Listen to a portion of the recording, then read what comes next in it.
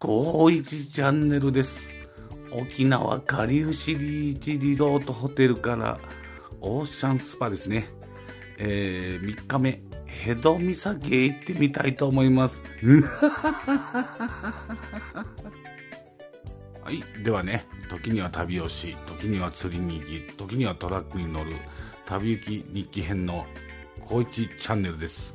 では、本日は最高のオーシャンビューを眺めながらですね、沖縄3日目過ごしたいと思います。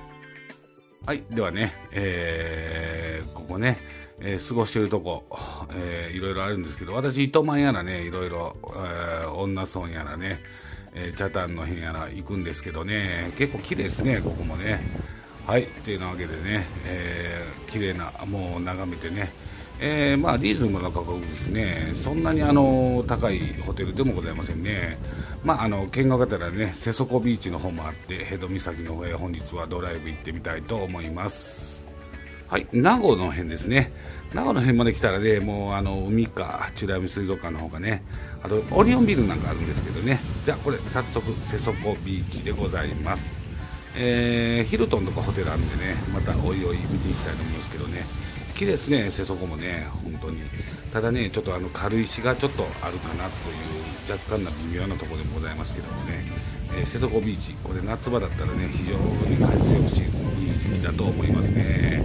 ビーチを独り占めできると思います。こんな感じでね、非常に綺麗でございます。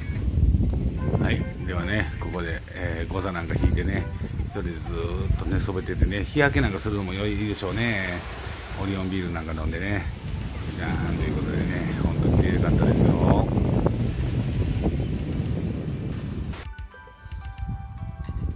はい、ではこれね、非常に有名なホテルですね。はい、これ、瀬底ビーチの駐車場ありますね。ちょっと路中できないですね、見た感じね。まあ、あの駐車場、はい、これはさっき見えたヒルトンですね、有名な。綺麗ですね。ぜひここも泊まってみたいホテルの一つでもございますよ。はい、ただね、これ、清掃行為で島ですからね、ちょっと遊ぶとこはこの島ないですね。ただホテル泊まってぼーっとするだけ、最高っすね。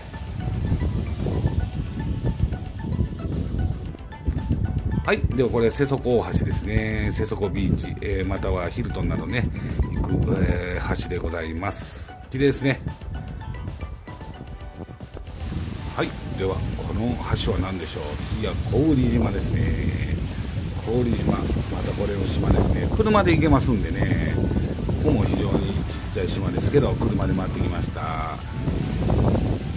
いじゃあ小売の橋ね。小売島渡る橋渡ったらオーシャンタワーいう観光施設もございましたね。ちょっと行けずじまいです。また次レポしてみたいと思います。はいではねこんな風に、えー、小売島に行っておりますね。遠目ですね。目方見えるんかないでね。でも非常に綺麗なこれがね。いい見晴らしでちゅうことでねいろいろ見晴らしのいいとこでした。さあ江戸岬へやってまいりましたよ。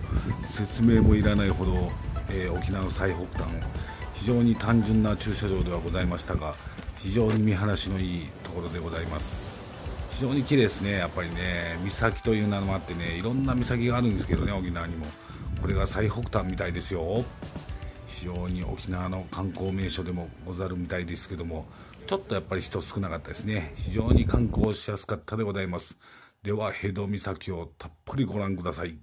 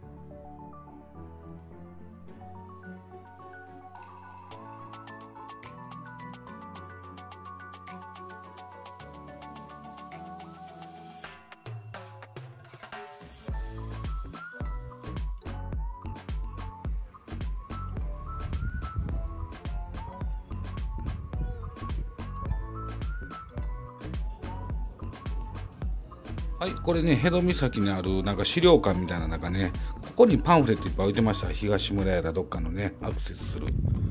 はいこんな感じでございます。辺戸岬観光案内所でしたね今の。切れ方でございます。といったわけでこんな風景でございます。はいということでね辺戸岬ですね。これ後にして、えー、ここからまた車で東村の方へね向かおうと思ってます。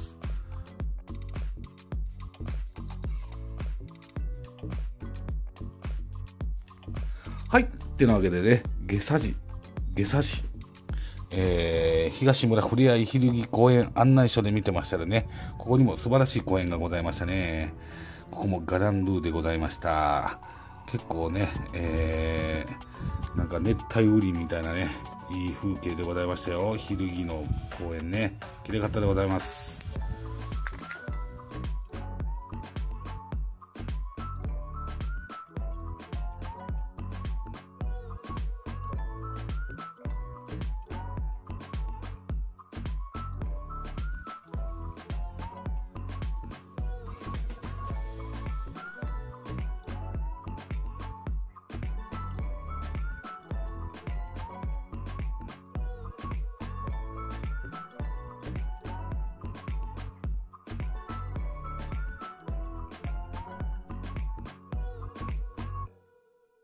はい、すっかり夕方になってきましたね。キセビーチですかね、これ。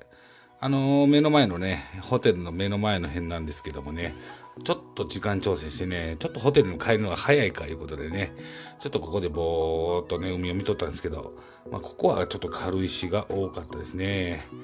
まあ、こういうことでホテルへ戻りたいと思います。はい、ではね、本日活躍したタンクちゃんですね、これレンタカーの。タンク。渋いですね、はい、なかなかこのちびタンクはよう走ります。はい。てなわけでね本日最終日ね。夕刻隊。この時間帯にね沖縄かりゆしリゾートビーチスパ。これね初めて撮影させてもらうんですけど。まあ綺麗ですねこんなガラス裁縫館などもあってね。沖縄琉球ガラスは有名なんでねここなんかあの結構予約したりとかしてんでも空いとったけど予約一応したらガラスも作らせてもらえるみたいですよこれでねかりゆし非常に良かった3日目でございますよ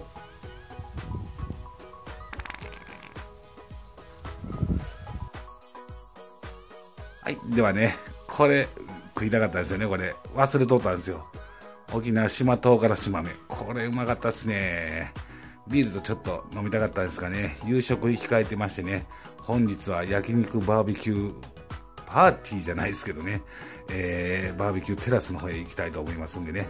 ちょっと食事前に一服腹ごしらえでございます。島唐辛子。ということでね。じゃあ夕方ディナー、えー、焼肉バイキングへ行ってみたいと思います。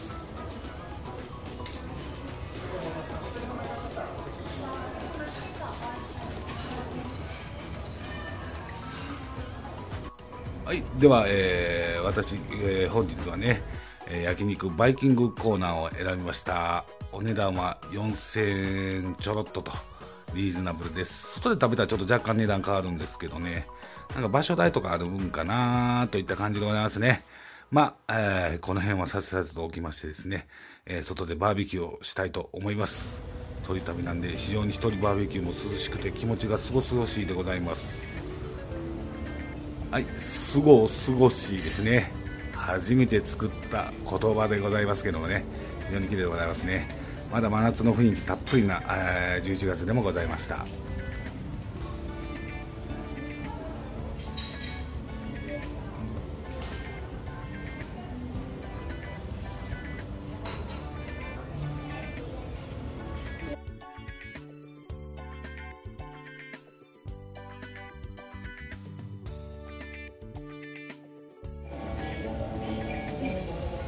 はい。さてさてご飯を食べていますとですね、えー、結構若い方やねたくさんぞろぞろと増えてきてですね、えー、いろんな音楽が流れ出してきてですねどこで何をしとんじゃいという感じでしたね。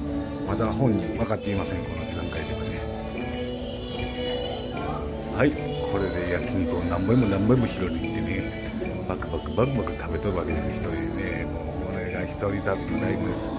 んなね家族で撮ったらねおもんないですもんね。何回も何回も取りに行ってねお肉を3回も4回も5回も取りに行ってねもう遠慮なくバイキングで食べれますんでね楽しいでございますよこの七福の一つおきがね。もうたまりませんねってところでまだ音楽どこで鳴ってるのか分かっておりません。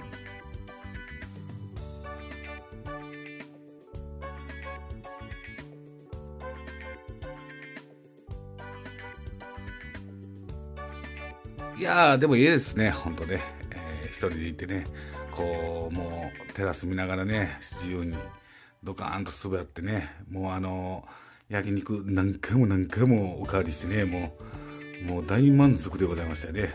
お寿司なんかもうマグロばっかり専門です。もう赤い歌赤専門でね、お肉を焼きながら楽しく、えー、バーベキューをしている次第でございます。